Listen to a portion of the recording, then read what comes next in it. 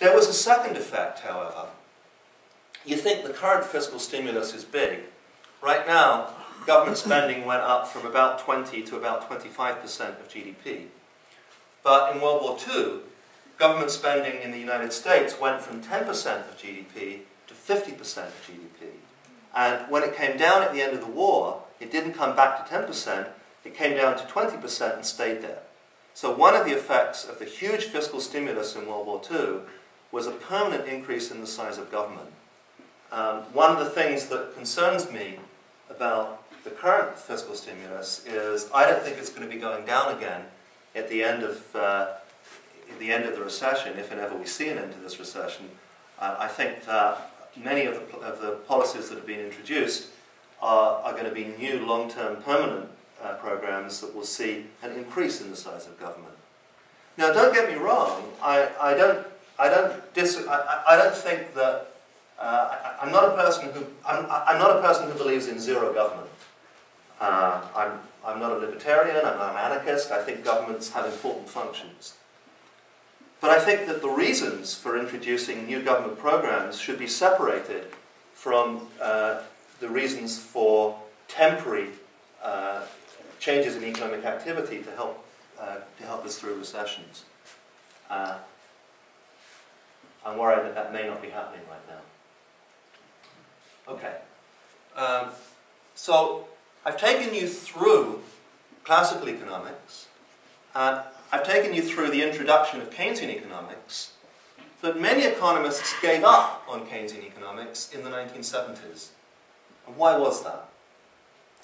Well, a lot of it had to do with uh, the fact that when Keynes wrote his, main book in 1936, The General Theory of Employment, Interest and Money, inflation was not a very pressing issue. It was, a, it was a period of stable or even falling prices during the Great Depression. And Keynes's book, uh, although widely regarded as one of the most important books of the 20th century, is extremely difficult to read, internally coherent, and doesn't, incoherent, and doesn't say very much about inflation. And that led, opened the door for a lot of uh, post-war economists to try and interpret what he'd said. Now, one of those interpreters was a New Zealand economist called Bill Phillips. He's known for two things. One, if you ever get to London and go to the Science Museum, there's a, wonderful example of an analog computer that Bill Phillips built. He built five or ten of them. You can't really see it in this picture, but it was full of coloured water and pipes, and it represented the economy. And, and he would give demonstrations of water flowing through pipes to illustrate what it meant to conduct fiscal policy or monetary policy. Uh, again, you can see that uh, in London. But more importantly, he was known for establishing what for a while was thought of as a fact. And that fact was that you could either have high inflation and low unemployment, or, or uh, low inflation and high unemployment, but not both. And what I'm showing you here is, is two pieces uh, of evidence for that fact from the United States in the 1950s and the 1960s. And uh, for a number of years, after the Second World War, economists thought of this as, as, a, as a fundamental law of economics. There was a trade-off between inflation and unemployment. Uh, two American economists who helped try to push that idea, Paul Samuelson, who just died recently, and, and Bob Solow, both in Cambridge, Massachusetts, uh, they wrote an influential paper that argued government policy can choose either high inflation or high unemployment, but not both. And they based their ideas on uh, a theory that came out of Keynes's book, The General Theory. So the Keynesians argued and believed strongly that before you could get inflation in the economy, you'd have to get back to full employment. So first you get full employment, the economy is running at capacity, only then can, can prices start rising.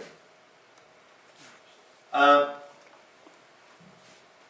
uh, Solow and Samuelson then argued that there's a trade-off. And as an article of public policy, they argued government should try to decide where you'd like to be in that trade-off. Did you want to have the economy functioning at a high level with, with a little bit of inflation? Or would you accept a little bit more unemployment in order to have less inflation? And then uh, the 70s hit us. And notice this is that same trade-off between inflation and unemployment that had appeared to be very stable in the 40s and in the 50s and 60s. But in the 70s uh, uh, and the 80s, the, the curve completely disappeared. And we started seeing very high employment, unemployment and very high inflation at the same time. And that was devastating to, to economic thought. It was a little bit like uh, trying, a little bit like getting a, bunch of NASA scientists together and sending a rocket to the moon and finding out they'd missed by a 100 miles because the gravitational constant had suddenly changed on them.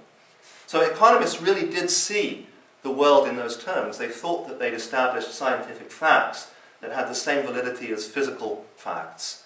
And the disappearance of that uh, Phillips curve uh, was radical. And it led to a rethinking of classical ideas. There were two people uh, that I'm going to name here that were responsible for that. Both of them won the Nobel Prize. One is called Robert Lucas, uh, and the other is uh, Ed Prescott. And what they did is they went back and they took the classical ideas from the 1920s, remember the stable self-correcting system, and they formalized them with modern mathematics. Uh, they put together the ideas of Gerard Debreu, uh, the ideas of, uh, of Leon Walras, and with modern interpreters of those ideas, in particular a Frenchman called uh, Gerard Debreu at Berkeley. And they ended up with a system that was formally uh, much more coherent than the verbal theories of Pigou, but were also much simpler because this, the, the, the Pigovian system, Pigou's view of the world, the rocking horse view, had very rich sources of shocks. He never wrote down equations to describe them, but he had a very rich panoply of, of, of ideas about what generated business cycles. The reintroduction of classical thought in, in the 80s with uh, Lucas and, uh, and Prescott had very carefully written down mathematical equations, but uh, the cost of that was a much simpler theory of business cycles. Uh, one way that I like, Willem Buiter at LSE described the modern views as the economics of Dr. Pangloss, who, who is a, a character from Voltaire's Candide, uh, who says at one point, "It is demonstrated that things cannot be otherwise, for since everything is made for an end, everything is necessarily for the best end. Candide replies, if this is the best of all possible worlds, what are the others? Now, that view that became dominant again in the 80s was a view that was now brought on board by economists who'd forgotten the Great Depression.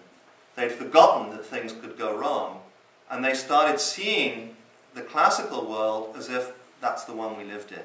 I think that was very dangerous, and um, that leads me to the last five minutes, in which I'll say a few things about current events. Where are we now?